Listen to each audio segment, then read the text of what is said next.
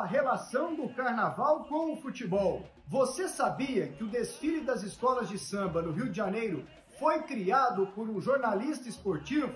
A Marquês de Sapucaí já contou com muitos craques. Edmundo, Zico, Romário, Maradona. A edição 131 do podcast Debates Esportivos mostra esta relação, carnaval e futebol. Entrevistamos dois professores, a Jordana Lara e também o Diego Santiago. Para conferir mais uma edição do podcast Debates Esportivos, vá lá no sagresonline.com.br e também em todas as outras plataformas.